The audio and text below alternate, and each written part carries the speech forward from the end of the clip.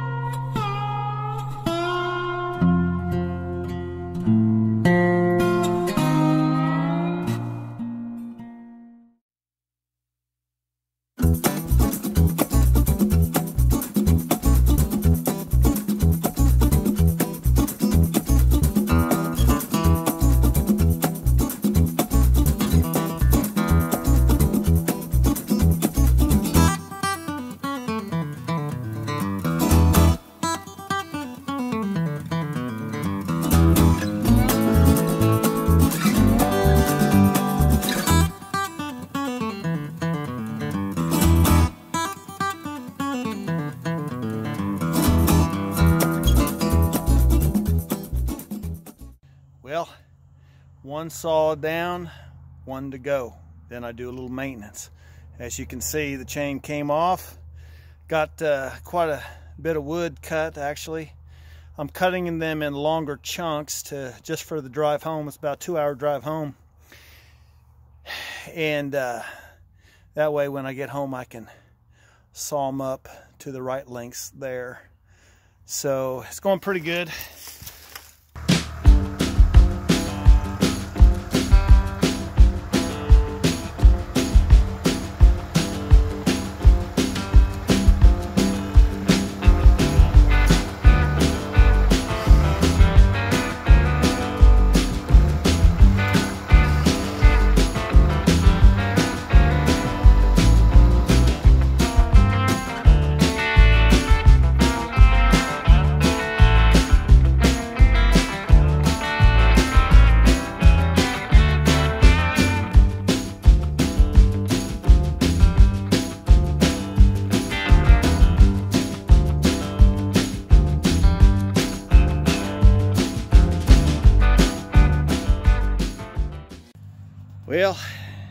Getting close to my last load. You can see it here in the bucket of the tractor. I thought I'd sit down, take a little break. I've been working pretty hard.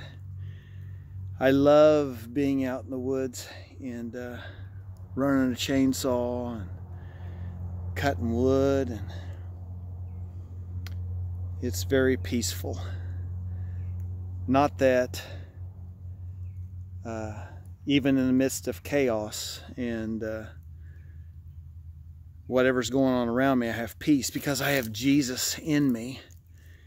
He said, peace I leave with you, my peace I give to you. And, and I have his peace. And so it doesn't really matter what I'm doing, but I just, uh, man, I love it out here for sure. It's Christmas time.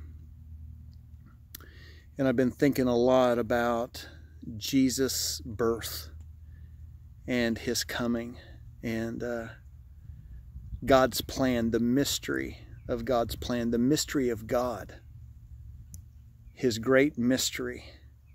He is a mystery. You know, I think about Him, and and we will never exhaust being in awe of who He is, beholding His beauty. You know, that Psalm 27 where King David was writing that, that I would behold the beauty of the Lord, meditate in his temple. I know of men and women that have had throne room experiences, not very many that I believe.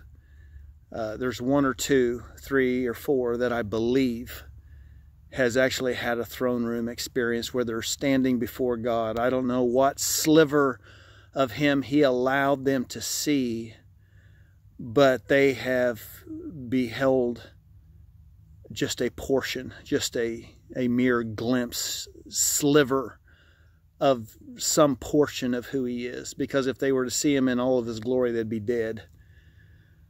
And uh, I've never have. And so, I, and King David, uh, you know, I don't know the extent of his encounters and experiences with David, or I'm sorry, but with God. But for him to write that, to behold your beauty, and I've thought about that. I thought, God, I want to, you know, I want to see, I want to, I want to see, behold your beauty. But what I'm, what I have come to understand that, oh, to see him, you know, to see him, I can't even imagine I've I've had just glimpses of.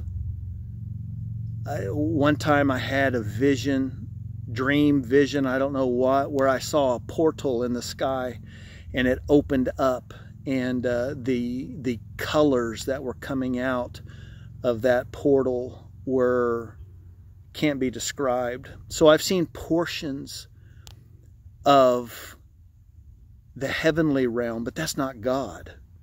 God is God, and He is so much higher than anything in His creation. And so when I read that about beholding your beauty, O Lord, to behold your beauty, where where I have beheld His beauty is in His characteristics, in His nature. You know the scripture that says that He will never leave us or forsake us. That's His characteristic, and that's His nature. He will never forsake you. He will never leave you. His Spirit dwells in us that have surrendered their life to Christ and made Him Lord of their lives. But to behold His beauty, His characteristics, His nature, to taste of the Lord and see that He's good. I've tasted of the Lord and He's good. His, his characteristics and His nature is beautiful. I'm in awe of him.